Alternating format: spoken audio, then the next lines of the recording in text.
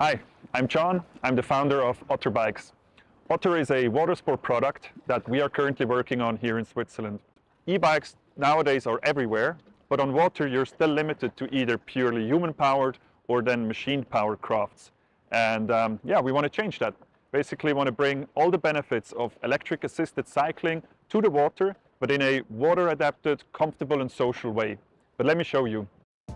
What you can see here is the proof of concept prototype from a few weeks ago. In the meantime, we improved many elements, but let me show you the new design. Otter is made of an aluminum body and inflatable drop stitch hulls. You have a trampoline net to stand on and a splash guard in the front. The pedals are adjustable so everyone has a comfortable cycling position.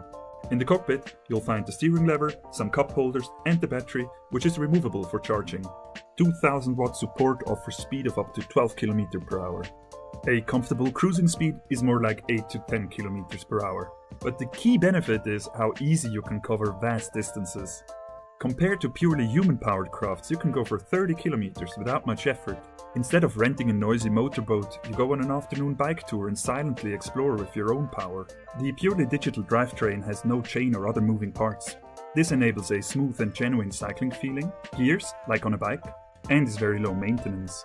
Otter is designed for easy slipping. Pull it like a trolley, unfold the seats and slide in the hulls and you're ready. With the launching wheels down, you can slip it from any beach or boat ramp without heavy lifting. Once in the water, fold up the wheels and down the motors and off you go. That's it. I hope you liked this short introduction. Um, I would actually be super curious to hear your thoughts and feedback. So we created a small survey, it's just 10 questions. Um, you find the link somewhere here would be great to hear your feedbacks and ideas. Thanks a lot.